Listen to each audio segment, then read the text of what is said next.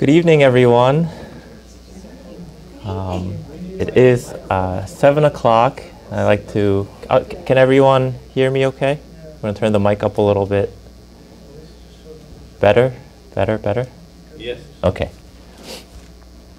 Um, welcome, everyone. Uh, thank you so much for coming out again tonight for our uh, continued series, uh, Forecasting Hope. Uh, tonight we have another very exciting and also very important uh, topic uh, that's found uh, in prophecy. And it's all about the Antichrist. Um, but before we begin, as we always do, uh, the Bible says spiritual things are spiritually discerned, so we're going to have a word of prayer. Dear Heavenly Father, we uh, are thankful again to be gathered here uh, tonight to study your word together. We just pray, Lord, that you would give us your Holy Spirit again tonight. You would bless us, uh, give us listening ears, guide me as I speak, and we just pray that your name will be glorified and that we'll be drawn closer to you. We thank you. In Jesus' name we pray. Amen. Amen. Um, we are going to, we kind of have a lengthy study tonight, uh, so we're going to skip over the theme song. I know we love the theme song, but we'll continue hopefully tomorrow. But we do have some Bible questions tonight. Um, we've been having Bible questions, but we haven't been getting too many. But the few that we did get, we've been uh, the presenters have been answering them privately. But we had some good ones that came in last night, so I thought we would share them uh, with you guys all. Um, the first question was uh, the, Does the Bible speak on after death customs, specifically cremation versus uh, burial?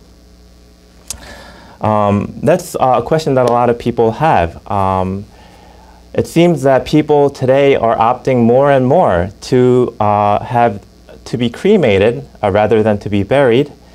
Um, in 2020, in the United States, about 56% of people were cremated.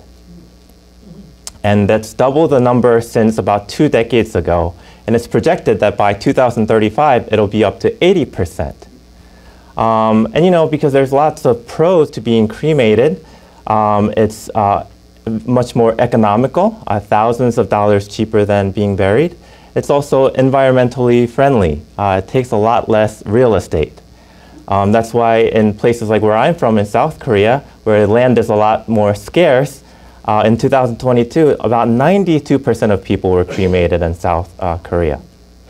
But what about the Bible? In the Bible, you see instances of both. Uh, typically, the norm was people were buried, and that seems to be the more honorable way uh, in, the, in Bible times. Uh, but there were a few instances where people were uh, burned or cremated. Um, but it seems to be associated with, um, uh, it's not very favorable in the Bible because uh, burning is associated with the judgment of God. And so, for instance, we see in the case of Achan, you know, he was called the troubler of Israel. And we see in Joshua 7:25, Joshua says to Achan, "Why have you troubled us? The Lord will trouble, trouble you this day." So all Israel stoned him with stones, and they burned them with fire after they had stoned them with stones. And so his body was burned. But we also have a godly man. Remember Jonathan? He was one of the sons of King Saul. Um, you know, he was defeated by the Philistines and killed along with his father, uh, King Saul. And the Philistines, they dismembered his body and hung it on a wall. And some brave soldiers of Gilead, the Bible says, went and retrieved the body and they burnt it. Um, but it seems uh, other, uh, but most of the patriarchs like Abraham, Isaac, and Jacob, and Joseph, they were all buried and they had specific instructions of uh, where or how they wanted to be buried. We know Moses was buried, and Jesus was buried uh, in a tomb. Um, here, uh, speaking of Moses in Deuteronomy 34 5 and 6, so Moses, the servant of the Lord, died there in the land of Moab, according to the word of the Lord, and he, God himself, buried him in a valley in the land of Moab, opposite Beth Peor, but no one knows his grave to this day.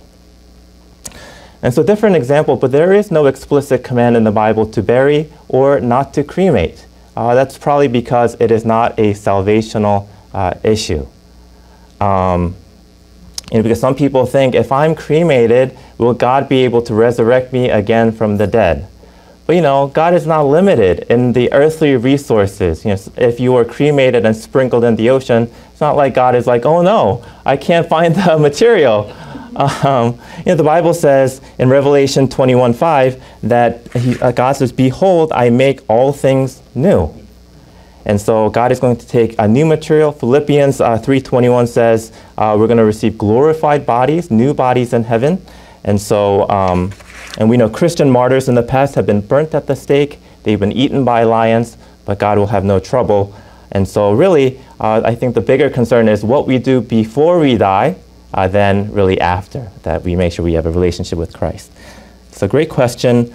Uh, question number two is what does the Bible say of suicide? Is it a forgivable uh, sin? And of course, that's a sensitive topic.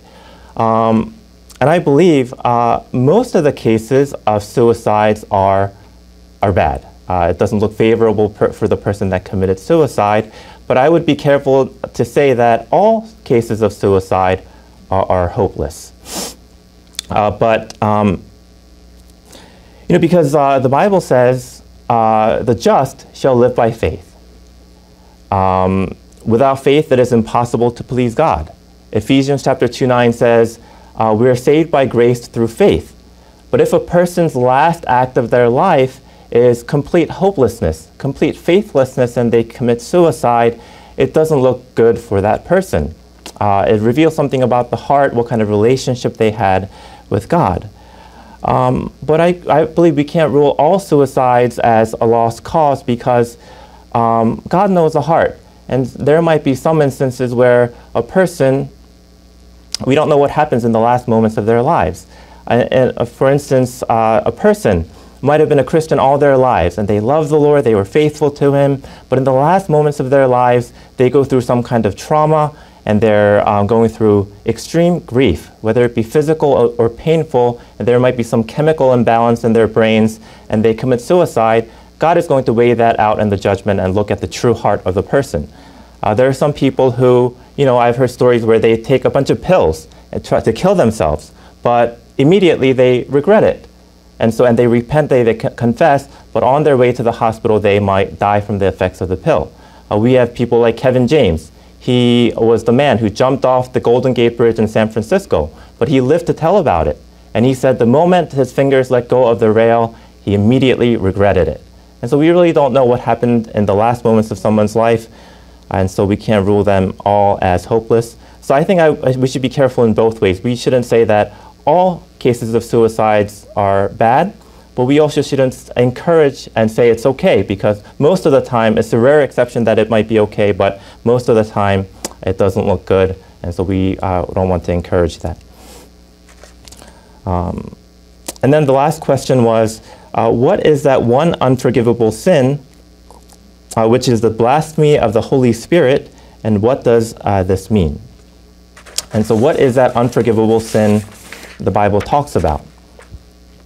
In Matthew 12 31, uh, Jesus said, Therefore I say to you, every sin and blasphemy will be forgiven men, uh, but the blasphemy against the Spirit will not be forgiven men.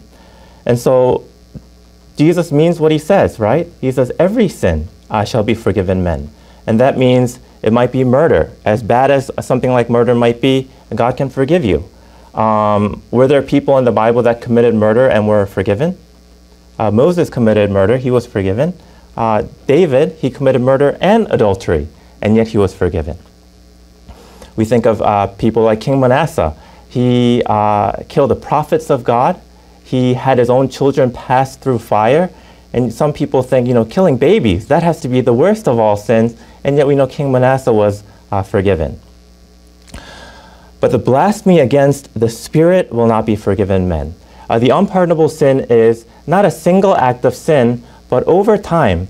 Uh, and it is, not, uh, it is not necessarily the degree of sin that makes it an unpardonable sin, but any sin, whether it be small or big, uh, you you keep doing it over a period of time where the Holy Spirit continues to come to you and convicts you. That's one of the jobs of the Holy Spirit to convict the world of sin, and you continue to harden your heart to the point where eventually you harden your heart, you sear your conscience, and you don't feel guilty about your sin anymore. You don't hear the voice of God anymore, and that's when it grieves the Holy Spirit. Uh, he doesn't see the point of speaking to that person anymore because he can't hear him. And so he departs from that person. And the sin that you don't repent of, the sin that you don't ask for forgiveness, uh, God can't forgive that, and that is the unpardonable uh, sin. And so, um, great questions. I hope that um, helped a little bit. Thank you for sending those in. And please keep asking questions and putting them in the question box, and we will try to answer as we uh, go on uh, throughout through the presentations. But tonight, uh, our topic is Discover Revelation's Antichrist. And so it, it is kind of a lengthy study, so I'm going to go rather quickly. So I hope that as I speak fast, they say you can uh, listen fast.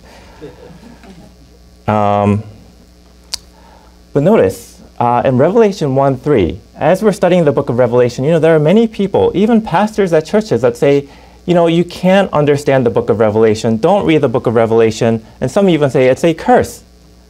But notice what the book of Revelation says about itself. Blessed is he who reads and those who hear the words of this prophecy, of this book, and keep those things which are written in it, for the time is near. So there's a what pronounced upon those who read the book of Revelation? A blessing. A blessing.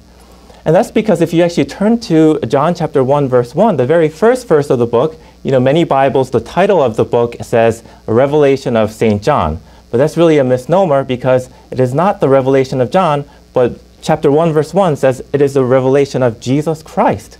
This book is a revealing of Christ himself, and so how can that be a curse, right? And so that's a blessing. Um, so, um, I've been thankful that we've been having this Revelation series, and I trust that we have all been blessed. But Antichrist, what is uh, Antichrist?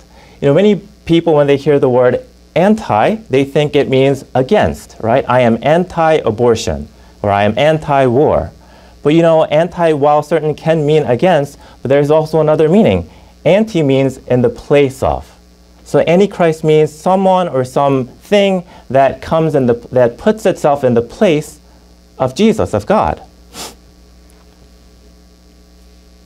And so tonight we're going to look for something that seeks to take the place of God on earth and usurp his divine authority. And you know, the Antichrist is described in both Revelation chapter, Revelation chapter 13 as the beast power, and also in Daniel chapter 7 as the little horn power. We're going to see that they're the same entity, and they're both uh, the Antichrist. And so the beast of Revelation chapter 13, the Antichrist, is it a person? You know, many people have thought uh, throughout history that Antichrist is a person. And there has been, uh, have been some bizarre speculations about who the Antichrist is. You probably have heard some. People have said in history, Adolf Hitler, he's Antichrist. Some have said Ronald Wilson Reagan is the Antichrist. And the reason they give is because Ronald, Wilson, Reagan, and each of his names is six letters long, 666, and they say he must be Antichrist. Some say Obama was the Antichrist because the day after his election in Illinois, they had the You Pick Three lottery and the numbers were 666. And they said Obama was Antichrist. Some have said David Hasselhoff of Baywatch is Antichrist. I don't know why. I just saw that online. And actually, I just recently uh, heard at, at a meeting just like this one, a guest came and the presenter had just presented about the Antichrist, and the person came uh, up to him with a straight face and said, You're wrong about the Antichrist.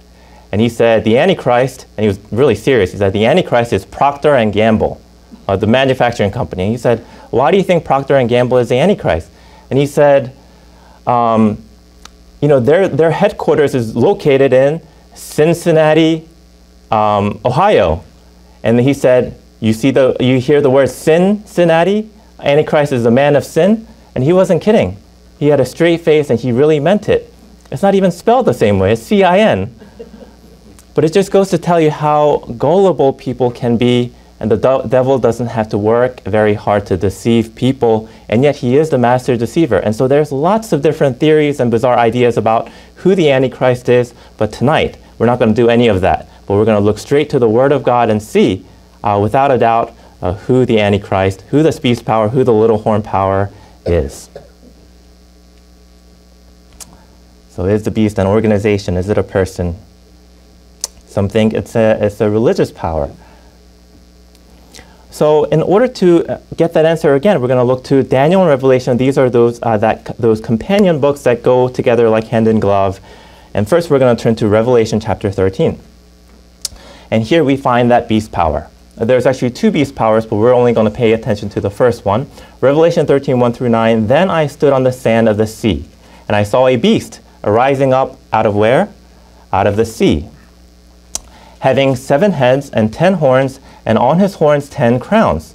And so this multi headed uh, beast coming out of the ocean, and on his heads a blasphemous name. Now the beast which I saw was like a leopard. His feet were like the feet of a bear, and his mouth like the mouth of a lion. So leopard, bear, lion, amalgamation of these uh, beasts and the dragon gave him his power, his throne, and great authority. And I saw one of his heads as if it had been mortally wounded, so it receives a deadly wound. But then it says the deadly wound would be healed. And this deadly wound was healed. And all the world marveled and followed after the beast. So they worshiped the dragon who gave authority to the beast, and they worship. So immediately, right here, we see the beast power, the Antichrist, is a religious power, right? Uh, it's receiving worship.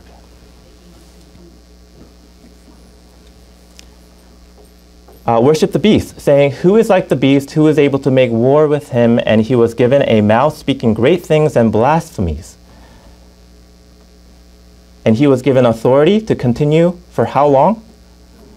So he would be in power for 42 months. Then he opened his mouth in blasphemy against God to blaspheme his name, his tabernacle. And those who dwell in heaven it was granted to him to make war with the saints and to overcome them. And so uh, the beast power making war against the saints, against the followers of God. And authority was given him over every tribe, tongue, and nation. All who dwell on the earth will worship him, whose names have not been written in the book of life of the Lamb, uh, slain from the foundation of the world. I'm sorry, of the world. If anyone has an ear, let him uh, hear. And so uh, this, uh, this beast. Obviously, uh, does the Bible really mean that in the last days there will be some uh, this bizarre multi-headed beast that's going to come out of the water, or is this a, a symbolic language? This is symbolic. Um, I'm sorry. Uh, symbolic. Um, and so we're going to uncover uh, that uh, symbol, and we have uh, been learning some of these principles in un uncovering a Bible prophecy and these symbols. So what does a, a beast represent in Bible prophecy? we turn to our companion book, Daniel. Daniel 7.23, the fourth beast, there, there you have it. The beast shall be a fourth kingdom. Do you see that? And so, and we see in verses 15 through 17 of uh, the beasts that you saw were kings. So kings or kingdoms, it's a nation, a kingdom. And so right there we know that the Antichrist is not a person, but it's a group, it's an organization, it's a nation, it's a kingdom. So a beast represents a kingdom or nation on earth. So Antichrist is a kingdom or nation on earth that seeks to usurp, uh, to take the place of God, his divine authority.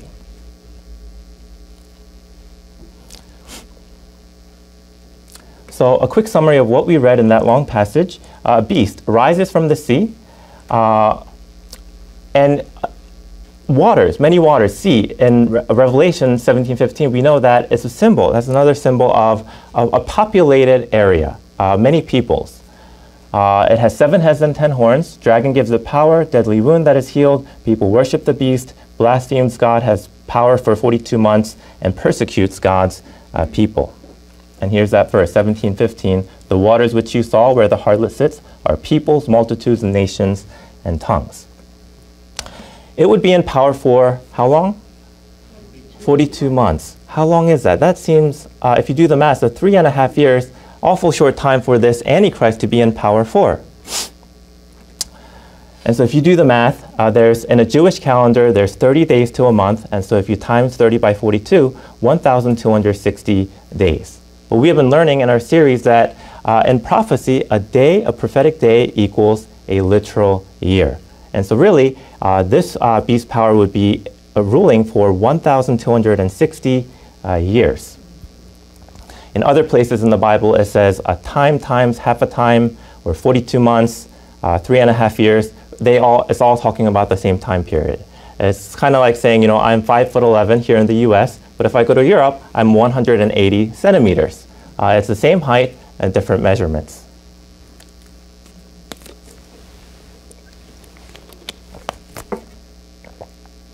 Um, and so going back um, to Daniel chapter 2, you know, we had, uh, we uh, studied this on the first night of the series, where um, there's this prophecy of these uh, kingdoms, these nations that um, King Nebuchadnezzar uh, had in his dream, and Daniel uh, uh interprets it for him. Four metals, uh, the head of gold, and that was a symbol for which kingdom? Ba Babylon. Uh, chest and arms of silver, Medo Persia. belly and thighs of bronze, Greece. Greece. legs of iron, Rome, Rome and then uh, Rome uh, would be divided into these uh, 10 tribes of divided Rome, and that's symbolized by the divided clay and the iron, and also the 10 toes. Uh, and so it predicted the rise and fall of these uh, kingdoms, these four kingdoms. And so we see that in Daniel chapter 7, now we're going to move on to Daniel chapter 7, which is a parallel passage to Revelation chapter 12, and the same prophecy is repeated. You know, Chaplain James had uh, studied with us and said, in prophecy, uh, the same prophecy is repeated, but then enlarged upon. It gives us more detail the next time. And so in Daniel 7, 2 to 3, Daniel spoke, saying, I saw in my vision by night, and behold, the four winds of heaven were stirring up the great sea. Uh, and so you ha have again the great sea, uh, four winds, that's a symbol of conflict. And so, in the midst of conflict, in the midst of many peoples, four great beasts came up from the sea, each different from the other. How many beasts? And a beast represents in Bible prophecy nations. nations. So we see it's a repeat of Daniel chapter 2 of the four kingdoms. And so we can then know um, that each of these beasts are a symbol of each of the nations that we saw. So the first beast that he sees in uh, verse 4, the first was like a lion and had eagle's wings. I watched till its wings were plucked off and it was lifted up from the earth and made to stand on two feet like a man, and a man's heart was given to it. And so uh, the first beast, the lion with eagle's wings, and this was a symbol for Babylon. Babylon, the premier of all the kingdoms.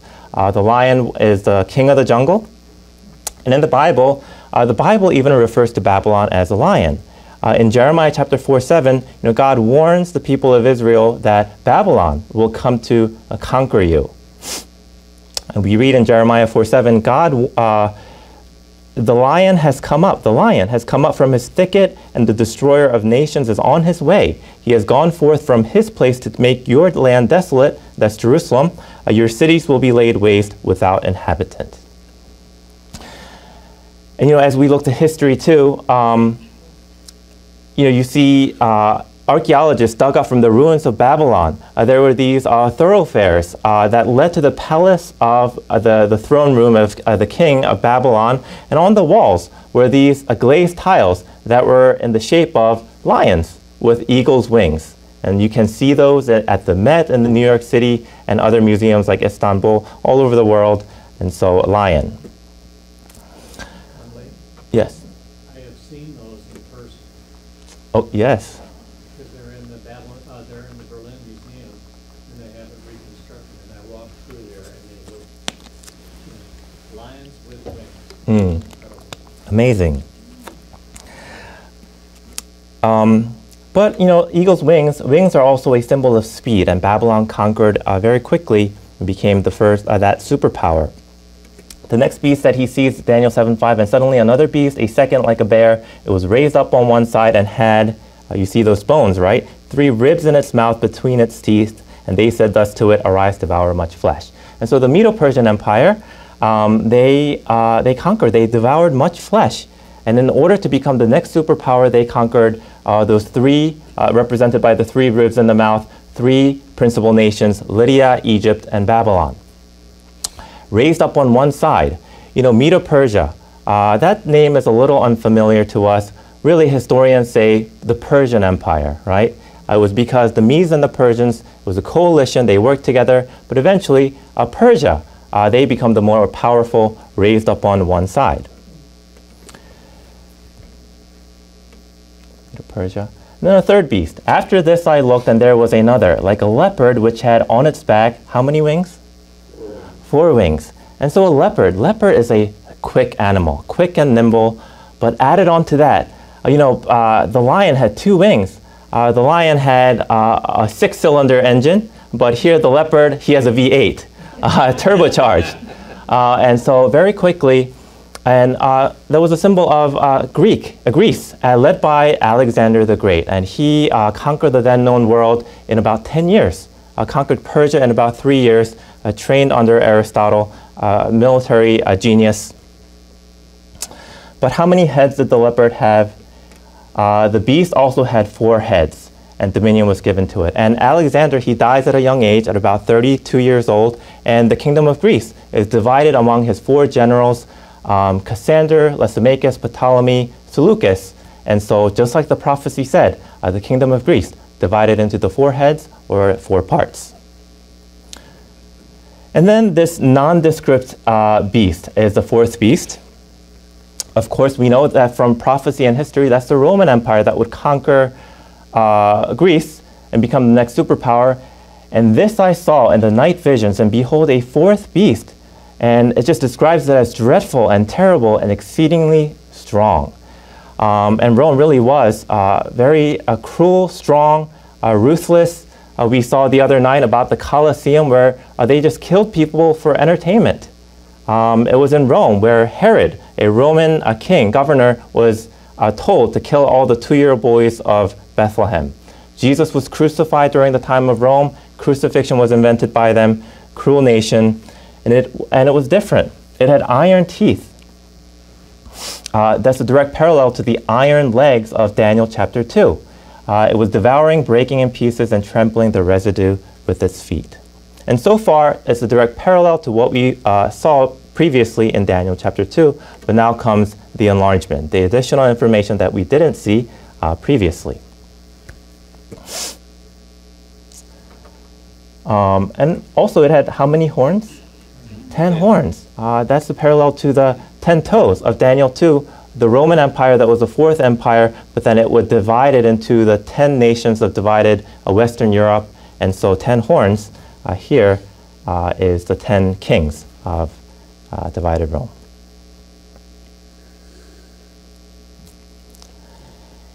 And then we see in the next verse, in Daniel chapter 7, verse 8, here comes the little horn. This is the Antichrist. As I was considering uh, the horns. And so those were the ten horns, the ten divided nations of Europe. And there was another horn, a little one, and coming up among them. So it comes up among the ten divided nations of Europe, before whom three of the first horns were plucked by the roots. So of the ten divided nations, this little horn entity uh, plucks them out, plucks three of them, destroys them, obliterates them. Um, it has the eyes like the eyes of a man and a mouth speaking pompous words. Uh, some versions say blasphemous words, and that's really what it translates to. And so, who is this little horn power? Who is the Antichrist? We skip down to verse 23 to 25. Thus he said, The fourth beast shall be a fourth kingdom on the earth, which shall be different from all the other kingdoms, and shall devour the whole earth and trample it and break it in pieces. And I wasn't just making a guess about those ten horns being those ten divided nations. It says, the Bible says, the ten horns are ten kings who shall arise from this kingdom, and another shall rise after them. He shall be different from the first ones, and shall subdue three kings. And so, just repeating the same uh, identifying characteristics. He shall speak pompous, blasphemous words against the Most High, that's God, and he shall persecute uh, the saints of the Most High. So that was what the beast power was doing, right? It was speaking great blasphemies against God. It was persecuting the saints of God. And how long would this power be in rule for? Uh, high and shall intend to change times and law, intends to change the law of God. Then the saints shall be given into his hand for a time, times, and half a time. Of course, time is a year, times uh, two years, half a time. You add that up, three and a half years, 42 months, 1,260 days, or 1,260 uh, literal years. Um, so just a summary of the little horn power. Do we see that this is uh, the same power as the beast power of Revelation 13? The Antichrist. And so these were the 10 divided nations of Europe, uh, the Franks. Uh, these are ancestors of what we today know as modern Western Europe, the Franks. They would become France. Anglo-Saxons, they would become England. Alemanni, they would become the Germans. Lombards, the Italians, uh, and, and so forth. But three of them, interestingly, just like the prophecy said, the Ostrogoths, the Heruli, the Vandals, you know, they were opposing forces to the little horn power, to the Antichrist, and they were, what did the Bible say? Plucked up uh, from their roots. And so they don't exist anymore today. And we're going to talk more about that as we go on. over this. So now we're going to take, uh, as we read uh, in that passage, Revelation chapter 13, and also about the little horn power in Daniel chapter 7, we're going to gather 13 clues or identifying points uh, so that after we gather that from nowhere else but the Bible only, and then we're going to look to history and to see which power in history fulfills all 13. You guys ever play the game Guess Who? you know, I play that board game with my niece, and she's five years old and she loves that game.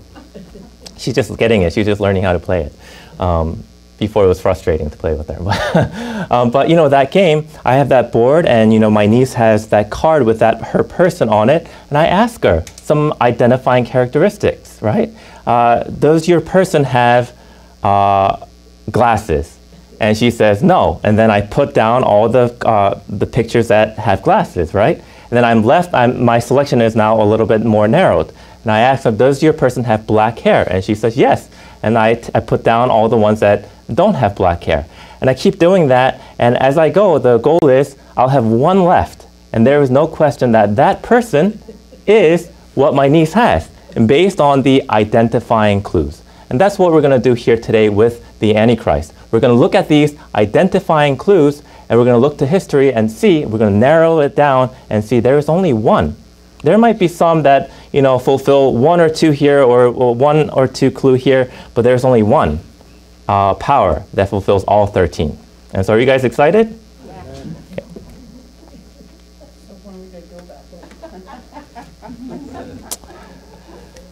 So point number one, clue number one, we find this in, uh, I'm going to go through these rather quickly. The little horn, the any power would rise to power after 476 AD. This is because, remember, uh, the little horn had to come after the fourth kingdom, which was the Roman Empire, and Rome fell in the year 476 AD. And so it has to come up, uh, oh, I went ahead, right, didn't I?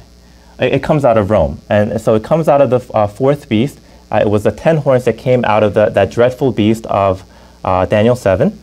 And then the next point is it, the little horn power would rise to power after 476 AD. And so after Rome falls in 476 AD, it would have to come up. Point number three, uh, the kingdom is represented by a little horn. It will be a little kingdom, not large in geographical size. So it's a little one, a little kingdom. Number four, the little horn conquered three kingdoms that came out of Rome. And so this Antichrist power will conquer those three, the Heruli, the Vandals, and the Ostrogoths, uh, these opposing forces, pluck them out. Clue number five, the little horn had eyes like a man and a mouth that would speak for it. And so there would be a man at the head of this Antichrist power uh, that would uh, speak for it. And so it would have, we know that uh, the Antichrist is not a person, right? It's a, it's a, a nation and a kingdom. There would be a man at the head of it, though, a leader. Um, so that's our next clue. Little horn would be different from the other horns. So in some way, this kingdom will be unique and different from all the other European nations. And we already know a little bit about that. All the other European nations, they are uh, political nations. They're just uh, civil states. And yet, we saw earlier in Revelation chapter 13 that this would receive worship, right? So it's going to be a political nation as well as a religious power. The little horn would speak great words against the Most High. We saw that is translated into blasphemy. In uh, Revelation 13, it actually says the word blasphemy. And so uh, this Antichrist would speak blasphemy against God. But what is blasphemy? Here we have a dictionary definition, but really we want to go to the Bible and what is the biblical definition of blasphemy. For time's sake, we're not going to read these verses. Actually, we might. Um, in uh, John chapter 10, uh, 30, 31 to 33, Now, Jesus, the Pharisees, the Jews of the day, is uh, accusing Jesus of committing blasphemy. Uh, Jesus was saying, uh, I am God. I am the Son of God. I am equal with God. He said, uh, Before Abraham was, I am. I am the eternal. I was eternal forever with the Father in heaven. And the Jews said, You being a man, you claim to be God, that you commit blasphemy, right? And so, a definition in the Bible for blasphemy is when someone, a mere man, uh, uh, claims that he is God. Of course, Jesus did not commit blasphemy because he really was God. In Luke 5:21, uh, similar thing, uh, Jesus said, "I forgive sins." And uh, the Jews said, "Only God can do that. You being a man, you, you say you can forgive sin. That's blasphemy." Of course, Jesus could forgive sin because he was God, but Another definition when you are a man and you're not God, but you claim that you have the power to forgive sin. And this Antichrist power will uh, commit, uh, speak blasphemy against God. The little horn would make war against the saints. It would be a persecuting power of Christians, of true followers of God. It was uh, clue number eight. Clue number nine the little horn would seek to change God's times and God's law. And so um, it says it would seek to change because um, you can't really change the law of God. We, we already heard that, right? Uh, uh, before heaven and earth will pass away, uh, not even one tittle, not even one uh, comma or punctuation of my law will pass away. That's what Jesus said. Point number 10 uh, the little horn would rule for a time, times, and half a time. So this Antichrist would have to rule for 1,260 years.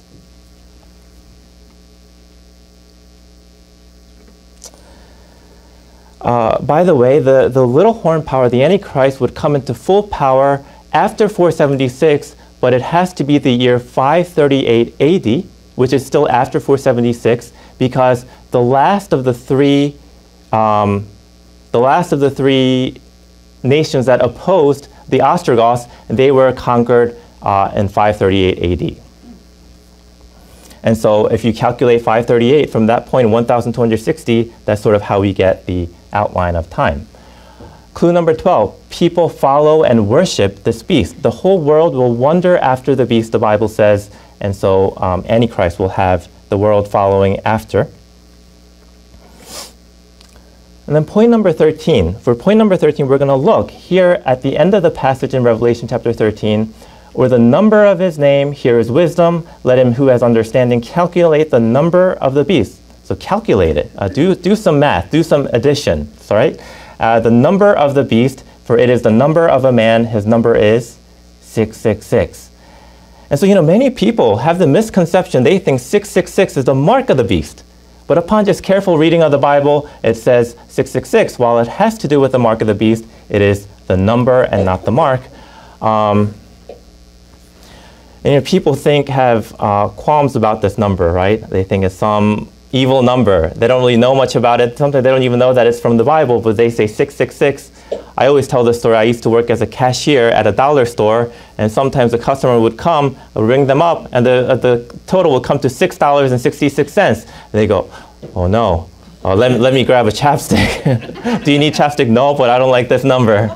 And so, um, but 66, there's nothing, you know, evil about just the number. You know, if you happen to uh, your, your bill comes to $6.60, just pay for it. Uh, there's nothing wrong with the number, but it's an identifying marker of the Antichrist. Does that make sense?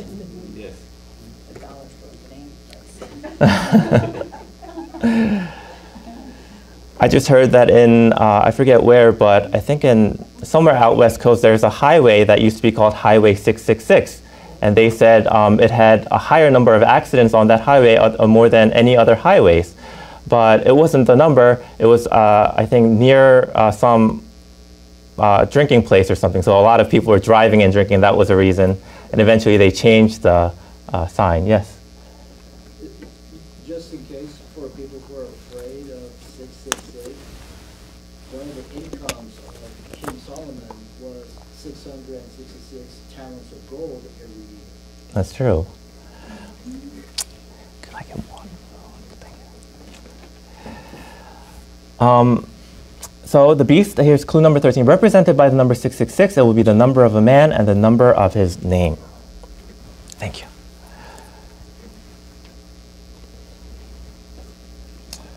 So uh, now we have those identifying 13 clues, and now we're going to look to history and see which, uh, which power, which group is the Antichrist that fulfills all. And before we see, I'm going to tell you already. Oh, does anyone have a guess already based on what we have so far uh, discovered? Yes. The Vatican. the Vatican, the papacy. And you know, you are in good company when you, uh, when you say that uh, virtually uh, all of the uh, Protestant reformers, like Luther, John Huss, Wesley, they all pointed to Uh, this beast power, the Antichrist, as uh, the papacy.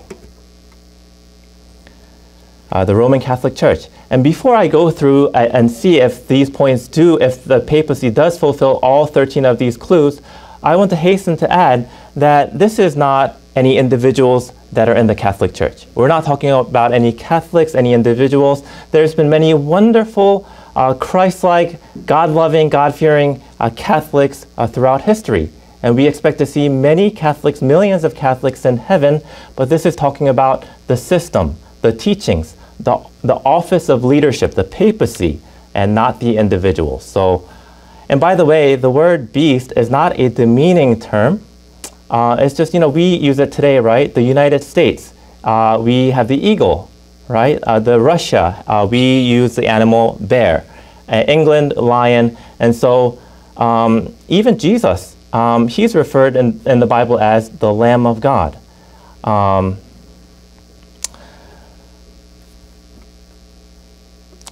I'm going to try to remember. There's a lot, a lot of similarities between uh, the Lamb of God and the beast of Revelation 13. And you might wonder, what? How can that be the Antichrist? But similarities, but they're not the same. But for instance, the, uh, the Lamb, Jesus, he comes up out of the water. When he was anointed as Messiah at his baptism, he came up out of the water. And the beast power comes up out of the water. Uh, Jesus was uh, mortally wounded. He, was, he received a deadly wound, but is, he is healed. He is resurrected. The beast power receives a deadly wound, but he is resurrected. Um, Jesus, how long was his ministry? Three and a half years. The beast power rules for three and a half years. Um, and Jesus seeks worship from the world. The beast power seeks worship from the world. Uh, Jesus uh, uh, wants to uh, lead others to him, and so does the beast power. And so, a lot of similarities, and that is because the beast power, the devil, is imitating Christ. He is a counterfeit. And that's really what all of this anti, uh, Antichrist uh, topic is about. It's over worship. Who receives the worship? The real, the true God, or a false God? In Daniel chapter 3, um, after King Nebuchadnezzar receives that dream of that statue, well, he makes a counterfeit in Daniel chapter 3. He makes it all gold. Yeah. Uh, and he causes everyone to worship him, right? Um, but uh, they, he said, when you hear the music, when you hear the instruments, come and bow down to this image. And so everyone, the whole world followed after that command and worshiped and bow, bowed down, except for the faithful few, Shadrach, Meshach, and Abednego, they would not bow down. Even though they were threatened to be thrown into the fiery furnace, uh, they would not bow down because it was against the word of God. It was against the law of God. And did Jesus deliver them?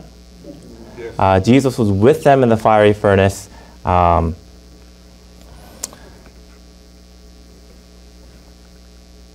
And so, um,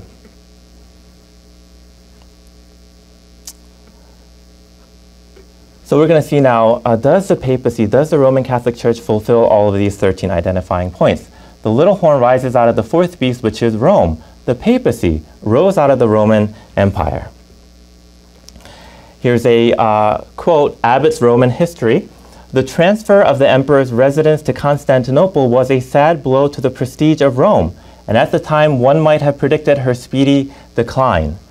The emperor of Rome, Constantine, moved uh, its capital to Constantinople, modern day Istanbul. Um, and it seemed as though Rome was uh, dying, but um, later another uh, emperor by the name of Ju uh, Justinian he gives power, uh, he gives full authority to the bishop, to the Pope of Rome, and he says, Here, you take charge of Rome now, uh, you be the next ruler, and Rome lives on, but not as the Roman Empire, but now the Holy Roman Empire or the, the Roman Catholic Church. And so here's the pastor. He has control over the whole, uh, he has both religious power and civil power. But the development of the church and the growing authority of the Bishop of Rome or the Pope gave her a new lease on life and made her again the capital, this time the religious capital of the civilized world. Here's a quote from Liabanca. Uh, he, she's a professor of history at the University of Rome. And she says, To the succession of the Caesars came the succession of the pontiffs, that's popes, uh, in Rome. When Constantine left Rome, he gave his seat uh, to the pontiff. And so, uh, Fulfillment number two, the little horn rises to power after the Roman Empire collapses, which is uh, 476 AD. The papacy rose to power, what's that year? 538 AD. And so 538 AD was when Emperor Justinian uh, gives uh, uh, that full authority. He gives the Bishop of Rome, he's a pastor, but gives him an army. And now the Pope uh, as the Bishop of Rome, he has the power, he has the full authority in the Roman Empire. If anyone uh, goes against the teachings of the church, he has now the power to take away your house, he has to take away your food, he has the power to imprison you, and ultimately, he had the power to kill uh, anyone, anyone who went against the church. Does the Bible say in Revelation ch- chapter 13 that that history will be repeated?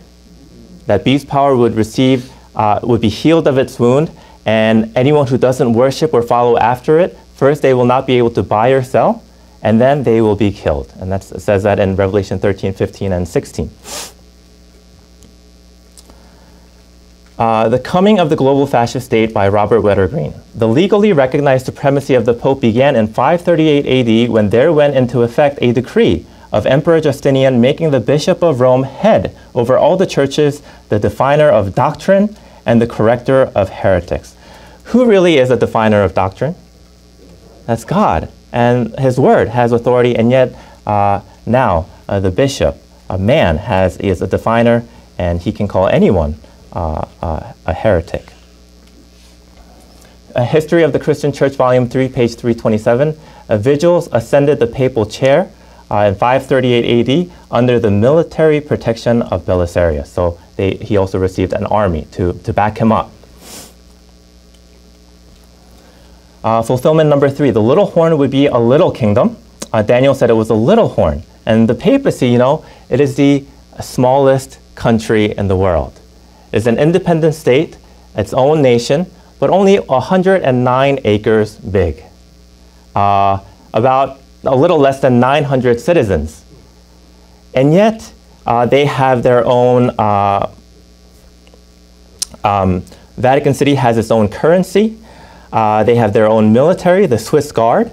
They uh, have their own postal code. They have their own rail, railroad station, their own telephone service.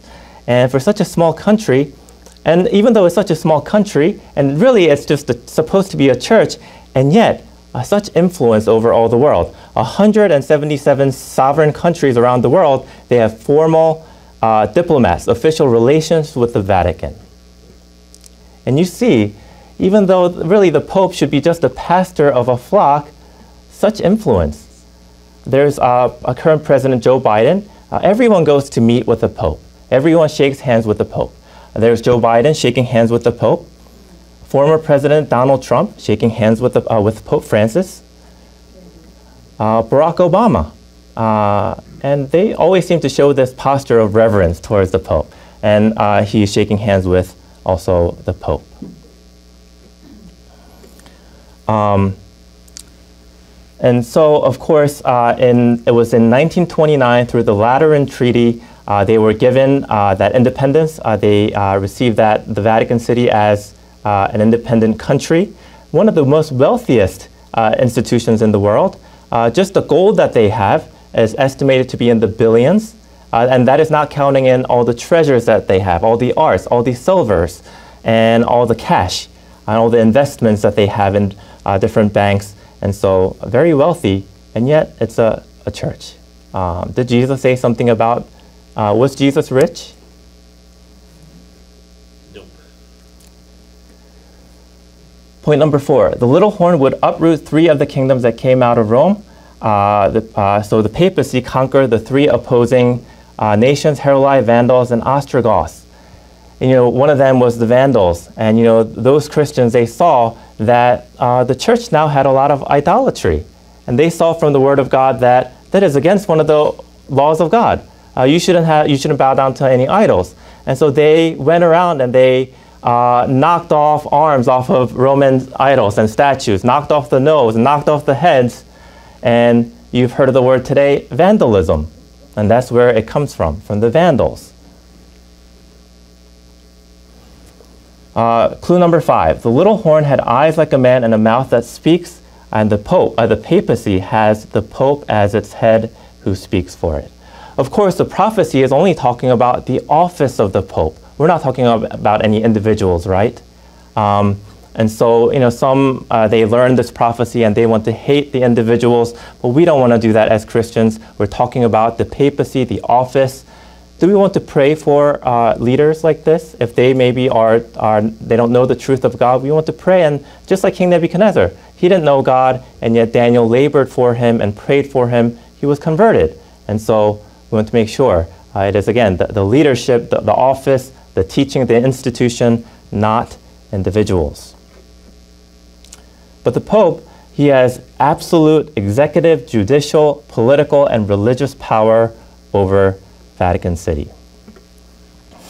Clue number six the little horn would be different uh, from the other kingdoms. The papacy is a different kingdom, it is both a religious system and a political power.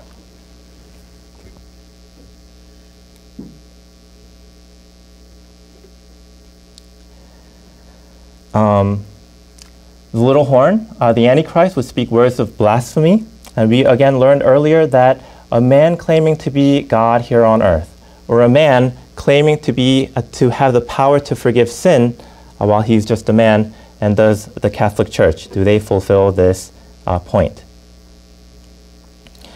and i'll let the i'll let these quotes uh, speak for themselves here's um, a quote um, by a uh, franciscan canonist lucius ferraris uh, the Pope is of so great dignity and so exalted that he is not a man, but as it were, God and the vicar of God.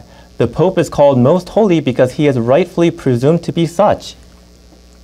Hence, the Pope is crowned with a triple crown as King of heaven and of earth and of the lower regions. Moreover, the superiority and the power of the Roman pontiff by no means pertain only to heavenly things, to earthly things, and to things under the earth, but even over the angels doesn't the Bible say angels were created a little higher uh, than humans?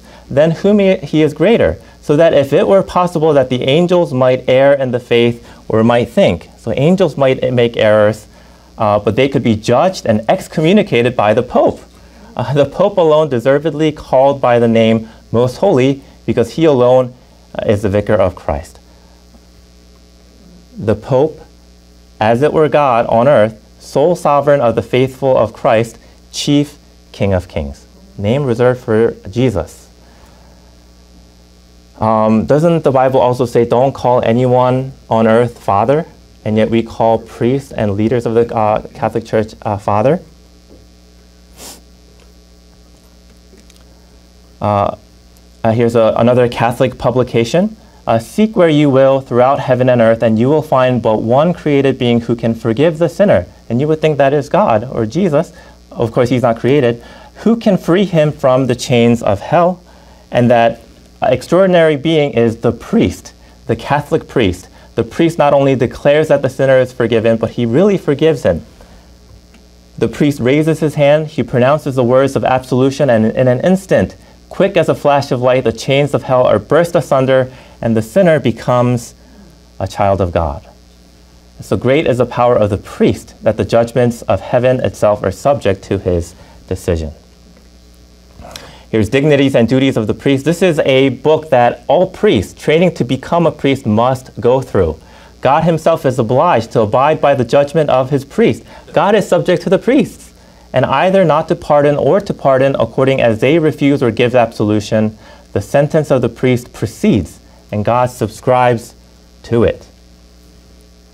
And here we have a picture, um, that's Pope Francis, and he's sitting on a throne. And notice what's next to the throne of the Pope on either side.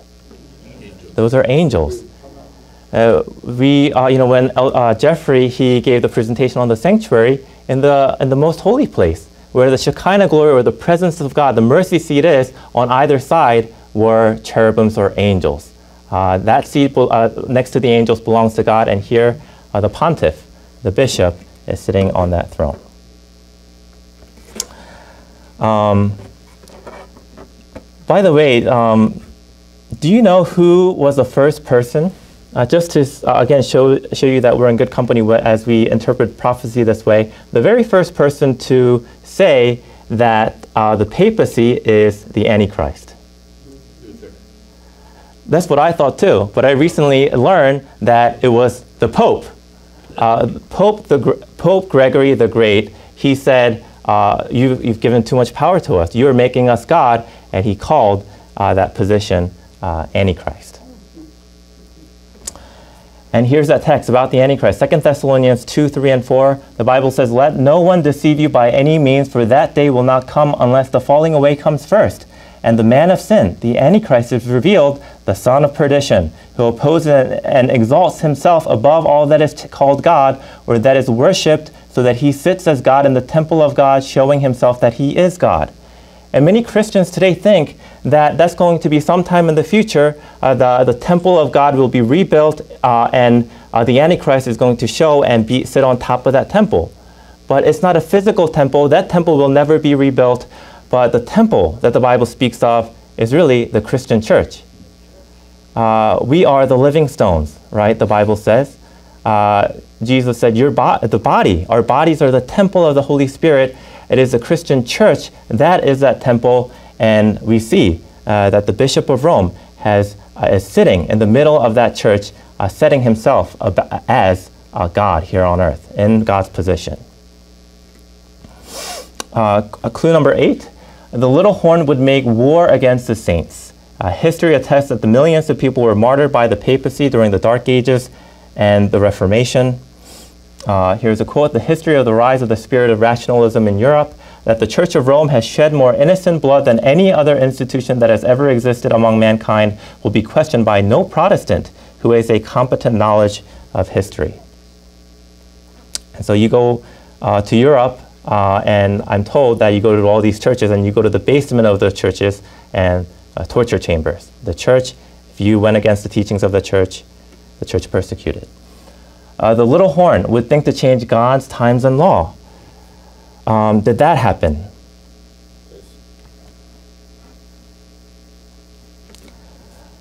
Uh, the Pope is of great authority and power that he is able to modify, declare, or interpret even divine laws.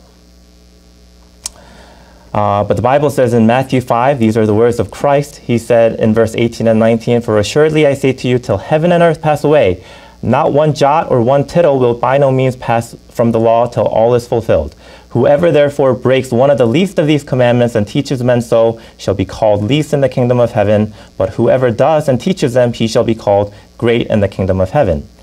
Deuteronomy 4 2 says, You shall not add to the word which I command you, nor take from it, that you may keep the commandments of the Lord your God, which I command you. And yet here it is uh, a man uh, taking away, changing, uh, thinking to change the law of God. Uh, these are, uh, as found in the Catechism, the Catholic version of the Ten Commandments. got rid of the second commandment because you know, the church gets into trouble when you have the second commandment of idolatry. Don't bow down to idolatry because there are so many idols in the church. And so, but they have to make it 10 because nine commandments just doesn't sound as good, right? And so they take the, uh, the covetous commandment, splits it into two, and it makes it uh, 10. Uh, we read this the other night, the Convert's Catechism of C- Catholic Doctrine. Uh, uh, they say, uh, which is a Sabbath day? And the Catholics answer, Saturday is a Sabbath day. Why do we observe Sunday instead of Sabbath? Because the Catholic Church transferred the solemnity from Saturday to Sunday. Um, and here, a cardinal uh, says, You may read the Bible from Genesis to Revelation, and you will not find a single line author- authorizing the sanctification of Sunday. The scriptures enforce the religious observance of Saturday, a day which we never sanctify. Really, the context of this is the cardinal, he is challenging the Protestant believers. He's telling them, You call yourselves Protestants. You are saying you protest from the mother church, you have left our side, and you say sola scriptura. You are going by the Bible only, not by the traditions of the church. But he's saying if you are really doing that, like you said, then you would not be keeping Sunday holy because that's something we made up. Uh, just by uh, fo- following the Sunday and observing that day as your holy day, you're really not going by the Bible at all. You're going by the authorization of the church. And so, you know, some people ask, why do you make such an emphasis over a day, right? Why, why is that so important? but it's one of the Ten Commandments of God, and really it's deeper than just a day. It's really a matter of worship. You know, Cain and Abel in the Bible, they both worshiped God, didn't they? They both came to God and they both worshiped Him, but Cain was rejected, Abel was accepted. Because even though they both worshiped God, Cain brought fruits, even though the commandment was to bring uh, an animal, uh, which was a symbol of what Christ would do. He would shed His blood to save uh, sinners.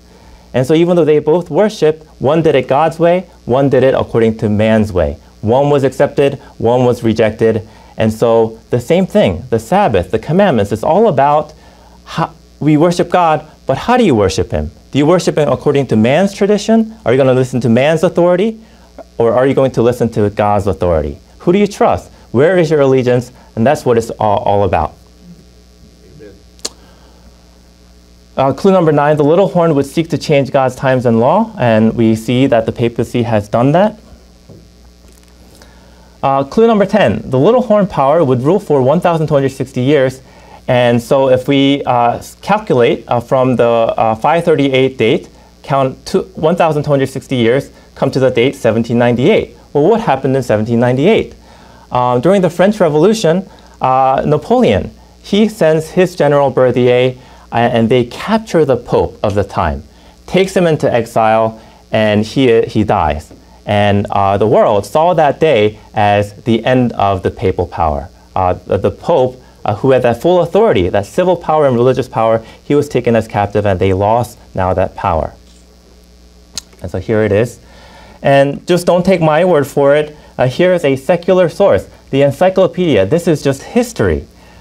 Uh, Encyclopedia Americana says in 1798, he, Berthier, made his entrance into Rome, abolished the papal government, and established a secular one. Clue number 11 the beast would receive a deadly wound that would be healed. In 1798, the papacy lost its power for a short time uh, during the French uh, Revolution. So we just saw that. But that wound would be uh, healed, uh, we read in Revelation chapter 13. Uh, and we, actually, we read that here that it was mortally wounded, but that deadly wound was healed. And notice, pay attention to that language, biblical language, that deadly wound was healed. And um, ironically, uh, the secular paper in 1929, when Mussolini he made that pact, he shook hands with uh, the Vatican, uh, with, the, the, with the papacy, saying, um, You help me, you support me, uh, spread my uh, fascism, then we will give you the Vatican City as an independent state. And they agree, they shake hands, and that was the Lateran Treaty. And uh, a secular paper, the San Francisco Chronicle, writes about that event. The Roman question tonight was a thing of the past, and the Vatican was at peace with Italy in affixing the autograph to the memorable document, Healing the Wound. There's that biblical language. Extreme cordiality was displayed on both sides. And so uh, the healing of the wound has taken place. Uh, and it wasn't just the political healing of the wound that took place here at 1929, but do we see that worldwide influence of the Catholic Church today? Uh, do we see that wound, that spiritual wound being healed today? Uh, we saw earlier the Pope, the papacy, they have worldwide influence. And, um, you know, just before the 500th year uh, anniversary of the Reformation, uh, Pope Francis met with uh, the Protestant leaders, uh, well known Protestant leaders, and they shook hands and they said, the protest is now over. And so, just to show you some pictures here, there's Francis Pope. Uh, you know, secular journalists say that he is one of the most active popes ever in history. And there he is on the top left. He's shaking hands with a Mormon prophet. And on the right, he is shaking hands with uh, the Russian Orthodox leader. Uh, bottom right, uh, that's uh, even Islam. That's the leader of the Islam uh, faith. And here is that meeting where he, he met with um, uh, Protestant leaders. There's Kenneth Copeland. And is unity a good thing? Didn't Jesus pray for unity? Uh, he did. And here, Kenneth Copeland, he quotes John 17 21, that prayer. He says, after that meeting with the Pope, he says, I am so blessed. Uh, what Jesus uh, asked the Father for in John 17 21, that we may all be one in Him, unity, is finally coming to pass. Pope Francis is a man filled with the love of Jesus. All eight of us in our meeting together with him were moved by the strong presence of the Holy Spirit, and our love for one another was strengthened beyond measure. What a time to be a believer. And what a time to be a believer today. Um, even though, yes, Jesus prayed for that unity, but God wants us to worship Him in spirit and in truth. Uh, there can't be true unity unless there is unity in truth. You know, truth is very precious, uh, very important the, the Protestant reformers, they stood up for that truth and they gave their lives uh, for the truth. And if they saw Protestant leaders today joining hands uh, with the Catholic Church, even though that uh, hasn't been resolved, they would be rolling in their graves uh, for what they gave so much for, and here yet uh, they're, they're shaking hands. Of course, we learned last night they're not rolling in their graves because the dead, they don't know anything, right? There's no knowledge in, in the grave.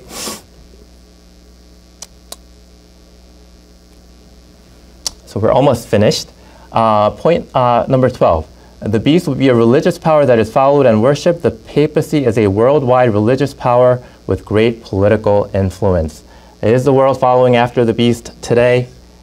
Uh, here is a picture uh, from 2015. Uh, here's the Pope, again, a pastor. He is addressing the U.S. Congress. And he also, in that same year, gave an address to the United Nations, the UN uh, the world, truly, uh, wondering after the beast power. And the last, finally, a point uh, the beast would have the number 666. It would be the number of a man and the number of his name. And you know, the Pope, the, the Pope, his title, he is the Vicar of Christ. And in Latin, uh, that's Vicarius uh, Filii Dei. And we all have used Roman numerals, so the V is 5 and IV is 4, or, and VI is 6, right? I get that confused. But if you uh, do the Roman numerals and calculate the Latin title of the Pope, and you add all of them up, you get the number 666, the number of a man, number of the beast. So I hope that was clear tonight. that we see that the papacy uh, truly fulfills all 13 identifying characteristics that we took straight out from the Bible? Um, and just very quickly, I know we're a little bit over time, but um, again, we're in good company. All the Protestant reformers believe the same way as they studied these prophecies of Revelation. Martin Luther, the leader of the Lutheran Church, he said, We here of the are of the conviction that the papacy is the seat of the true and real Antichrist. John Calvin, he says, Some people, some persons think us too severe and censorious when we call the Roman pontiff Antichrist. But those who are of this opinion do not consider that they bring the same charge of presumption against Paul himself. Um, John Knox. Knox wrote to abolish that tyranny which the Pope himself has for so many ages exercised over the church, and that the Pope should be recognized as the very Antichrist and son of perdition of whom Paul speaks uh, in, the, in that text in Thessalonians that we read. And then just one more uh, John Wesley, he's the founder of the Methodist Church. He says, speaking of the papacy, he said, He is, in emphatical sense, the man of sin, as he increases all manner of sin above measure. And he is, too, properly styled the son of perdition, as he has caused the death of numberless multitudes, both of his opposers and followers. And the quotes are a little longer, but I'm just, for time's sake, just reading portions of the quote. And so we are in good company. All of the reformers, they all used to believe the same thing. And so, uh, last questions. What does this have to do with my life today? Know, Revelation 13 talks about how history will be repeated. The beast power will regain that power again and force the whole world to uh, follow after and receive the mark of the beast. And he will make that counterfeit way of worship and force you to worship it. And if you don't follow suit, you will first not be able to buy or sell, and eventually you will uh, have to give your life. But you know, we don't have to be afraid. Uh, just like Shadrach, Meshach, and Abednego, uh, they didn't worry uh, whether they were going to follow God or not. Uh, they knew that God would deliver them, but even if not, they loved and trusted God and they went into that fire. And again, was Jesus with them? Jesus promises us, I will be with you until the end of the age. When we trust in God, put our trust in Him, and we follow Him, that uh, Jesus will be with us. There might be some trials and tribulations, but Jesus will take care of His children. Amen? And so I know we read a lot, but this is the final quote of the night. Education, page 57 by Ellen G. White. The greatest want of the world is the want of men, men who will not be bought or sold, men who in their inmost souls are true and honest, men who do not fear to call sin by its right name, men whose conscience is as true to duty as the needle to the pole, men who will stand for the right though the heavens fall. So I want to be among that faithful few that is true to God, true to uh, uh, that stands up for the truth. Would you like to be a part of that group too? Amen. Amen. Uh, why don't we, uh, since we're talking about standing up for the truth, why don't we stand and have our closing prayer uh, together?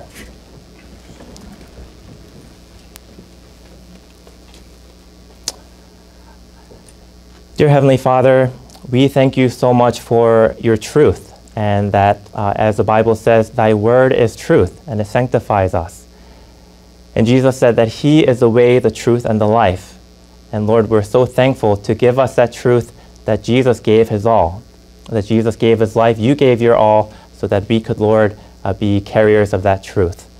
And we just pray, Lord, that you'll help us to love you and trust you with all of our hearts, that we will give you all of our hearts, and that we will, Lord, as Revelation says, follow the Lamb wherever he goes. There might be hardships and trials, but we trust that you will be with us until the end of the age, and that you will not let us be harmed, and that you will give us the strength to be faithful. But Lord, we just want uh, to follow you. We want to be, we want to stand up for that truth, the truth of God. And so please, Lord, we pray that you'll bless us and guide us and keep us close to you so that we may among that faithful few when you uh, do come back soon. Thank you, and we ask this tonight in Jesus' name. Amen. Amen. Uh, thank you so much. Yes.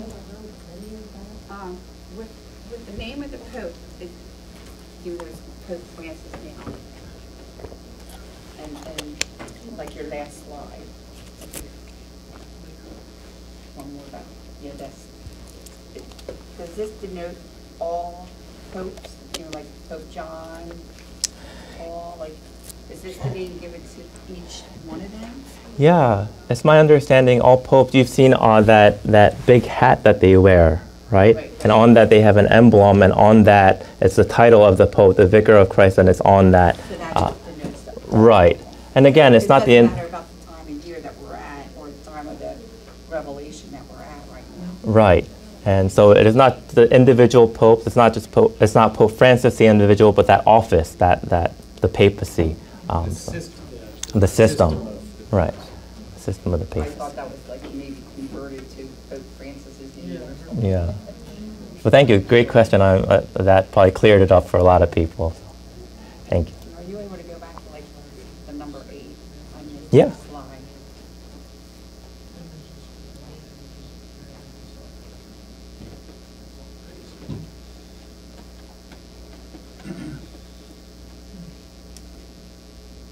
This one? Thank you. Oh, section. Oh, okay. Great.